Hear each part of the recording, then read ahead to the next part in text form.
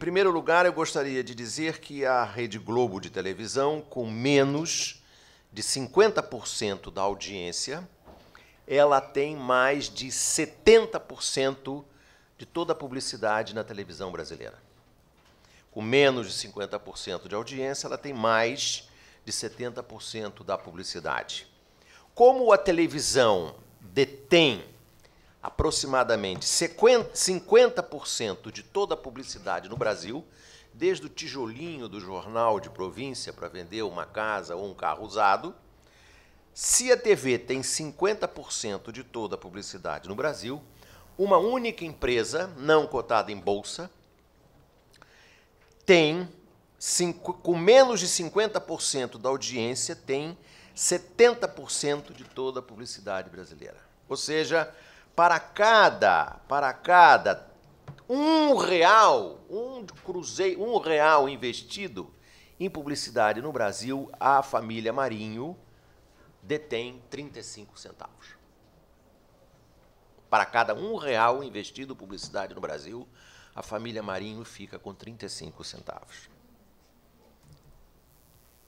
Existe agora uma discussão muito interessante que está nos jornais de hoje, na Folha de São Paulo, a informação de que a Globo, por exemplo, não vai permitir a, não vai permitir a instalação no Brasil da empresa americana Nielsen, que mede a audiência na televisão americana. A Globo tentará encontrar os mecanismos é, é, que permitirão que só o Ibope faça medição de audiência no Brasil. Não sei se sabem, mas a indústria da publicidade no Brasil ela se constrói em cima de três hipóteses. Primeiro é a audiência da Globo. Segundo é o Ibope. E terceiro é o chamado BV, que não sei se sabe, mas é a sigla para bonificação de volume. Quando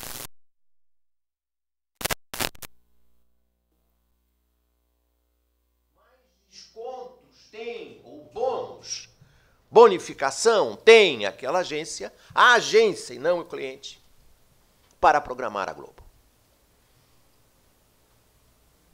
Quanto mais eu programo a Globo, mais eu levo para casa dinheiro e não o meu cliente, se eu programar a Globo. Alguns dos mais ilustres e famosos publicitários brasileiros, como Washington Oliveto e Nizam Guanais, por exemplo, praticamente só anunciam ou anunciavam na Globo. Por causa do BV. A Globo faz a indústria. Constrói a indústria. E,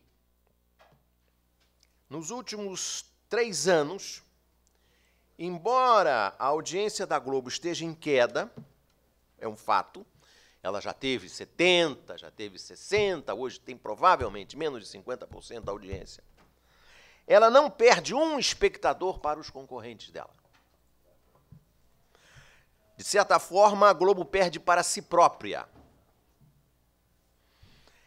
Para os que não, para os que vão para a internet e os portais da Globo.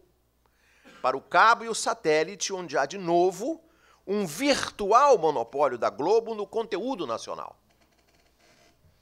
A indústria do cabo no Brasil foi atrofiada deliberadamente pela Globo o Brasil é uma nação que tem uma concentração urbana brutal e, no entanto, uma penetração da TV a cabo muito baixa.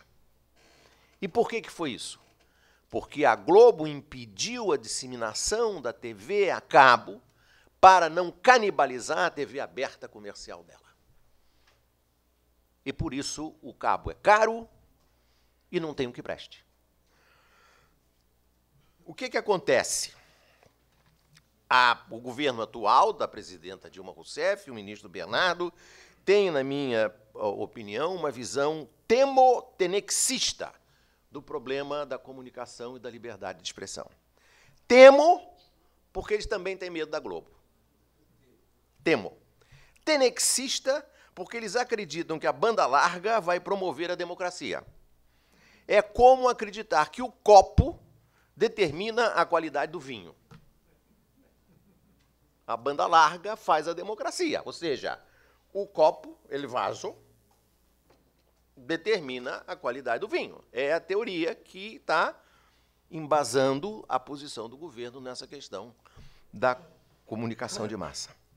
Outro fator que pode constranger a democratização da mídia no Brasil, e agora me refiro aos juízes aqui presentes diretamente, é a perseguição dos blogs na justiça, a censura através da mão dos juízes.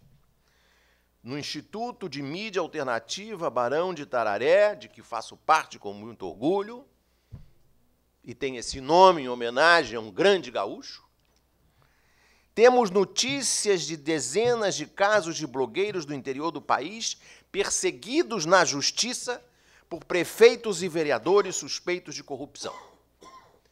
O Juca Kifuri é o campeão desse processo de censura.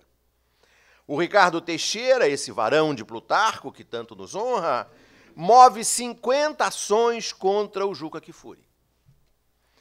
O Luiz Carlos Azenha, outro blogueiro sujo, e temos esse nome, blogueiro sujo, porque recebemos essa alcunha do candidato à presidência da República, José Serra. O Luiz Carlos Azenha, o Rodrigo Viana também sofrem ações na justiça. Eu, particularmente, devo ser o vice-campeão depois do Juca. Costumo dizer no meu site que diz-me quem te processa e dir-te-ei quem és. Ou, como dizia o ínclito presidente Damar Franco, quem melhor me define não são os meus amigos, mas os meus inimigos. Sofro 40 ações judiciais. 13 do banqueiro condenado Daniel Dantas. 3 do, do senador, ex-senador Heráclito Forte. 3 do ministro Gilmar Mendes, responsável pelos dois HCs que, em boa hora, uma procuradora da República chamou de HCs canguru, os dois HCs que em 48 horas tiraram Daniel Dantas da cadeia. Mereço ações também do corretor de moedas nas Narras, do grande empresário e construtor de empreendimentos notáveis, um, uma pessoa chamada Paulo Preto, ou a Paulo Afrodescendente, como preferirem, do nobre deputado carioca, especialista em eletricidade, especialmente numa empresa chamada Furnas, chamado Eduardo Cunha. É uma galeria que me honra, mas é, acima de tudo, uma agressão à liberdade de expressão e a manipulação da justiça para censurar jornalistas pelo bolso. Ditadura perfeita é o Brasil, na minha opinião, no campo da liberdade de expressão. Muito obrigado.